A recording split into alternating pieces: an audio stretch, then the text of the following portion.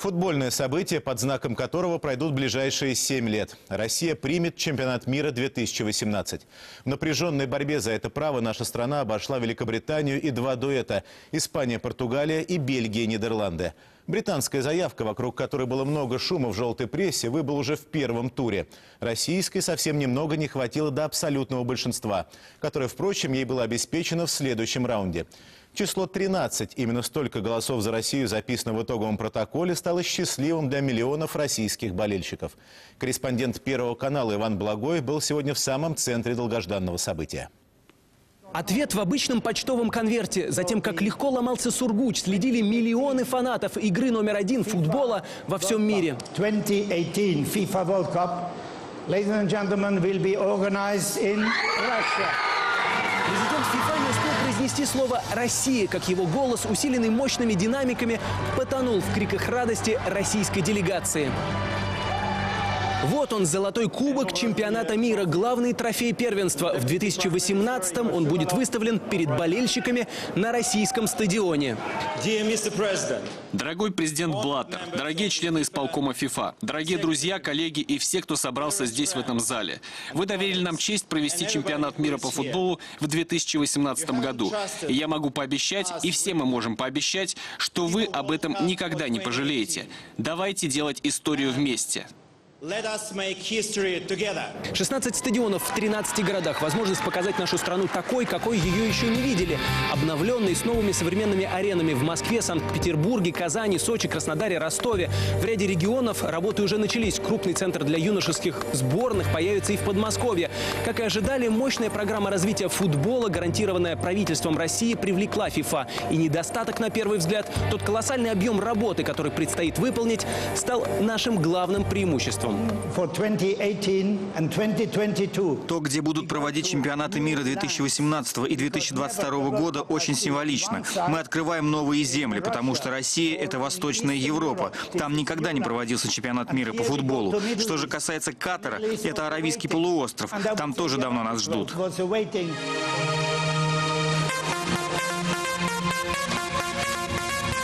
Такой трогательный и одновременно настолько поражающий размахом съемок истории не было ни у одной страны, борющейся за проведение чемпионата мира, говорят в кулуарах ФИФА.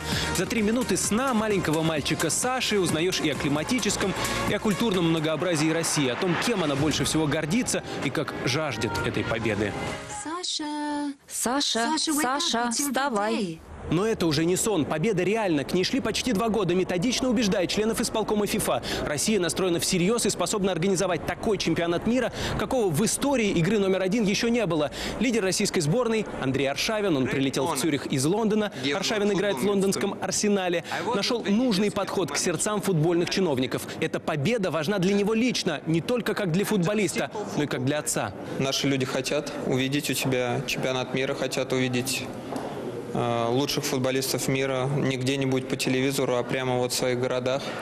Э, И я хочу, чтобы детишки, может быть, мой сын в том числе, пришел на стадион через 7 лет и увидел, я не знаю, Месси, там Криштиану Рональдо, я думаю, они еще будут играть в это время воочию, живьем. За онлайн-трансляцией, организованной FIFA в интернете, следили российские фанаты по всей стране, от Калининграда до Владивостока. Решение футбольной федерации для них как победа с крупным счетом в игре, от которой зависит все. Наши выиграют сегодня. Были настолько уверены, что даже и дети, вот сейчас э, позднее время, и дети остались здесь, поэтому мы очень все рады и очень довольны. Когда достали открытку из конверта с надписью «Раша», это, конечно, просто для всех был шок, очень приятный шок. Как, не знаю, гол где-то в финале какого-то важного матча. Главным соперником России, по мнению экспертов, была Англия. В Цюрихе высадился целый десант во главе с главой правительства Дэвидом Кэмероном, наследным принцем Уильямом и экс-капитаном английской сборной Дэвидом Бекхэмом. Но по некоторым данным, Англия вылетела уже в первом туре голосования. Не последнюю роль, вероятно, в этом сыграла грязная информационная кампания, развязанная британскими СМИ. Прямую видеотрансляцию из Цюриха организовали и в центре Лондона. Принесла она одно разочарование. Британский премьер Дэвид Кэмерон и вовсе не стал поздравлять Россию. Глава заявочного комитета Испании и Португалии не скрывает досаду, но все же находит нужные слова. Наша заявка хорошо спонсировалась, мы потратили много денег и сил, но ФИФА предпочла Россию. Мы ценим эту страну и хотим ее поздравить. С этого момента открывается новая страница в истории отечественного футбола. Россия начинает подготовку к проведению чемпионата мира. Впервые за всю историю мировых первенств он пройдет в нашей стране. Девиз российской заявки «Готовы вдохновлять». Сейчас можно уже изменить.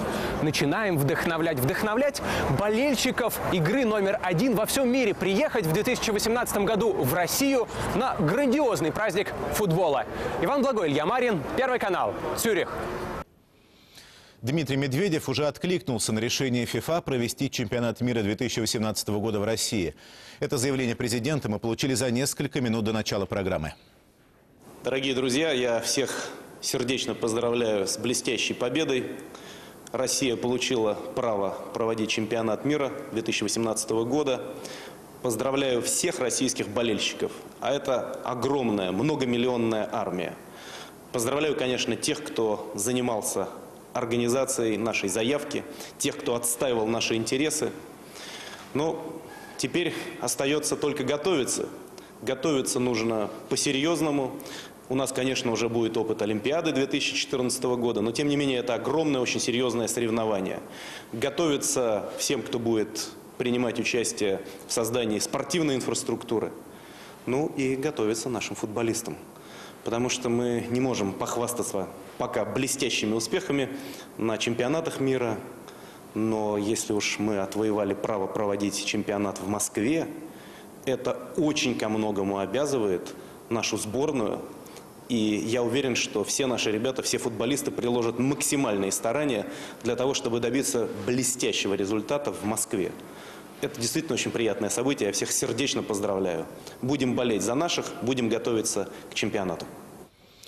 А Владимир Путин, который не поехал в Цюрих, чтобы, как он сказал накануне, не давить на членов исполкома ФИФА, следил за новостями в своем кабинете в Доме правительства. И как только стало известно о том, что победила Россия, глава правительства объявил, что теперь в Швейцарию полетит. Я прежде всего хочу поблагодарить членов исполкома ФИФА за принятое решение, за то, что они доверили нам проведение чемпионата мира по футболу в 2018 году. В России любят футбол, в России знают, что такое футбол.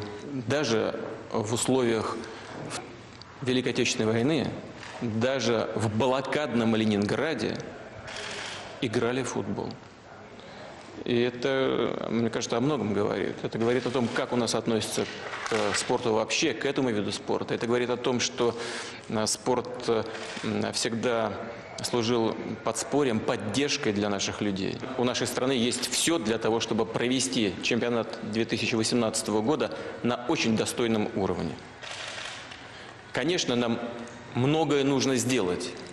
Это и стадионы, это аэропорты, гостиницы, дороги.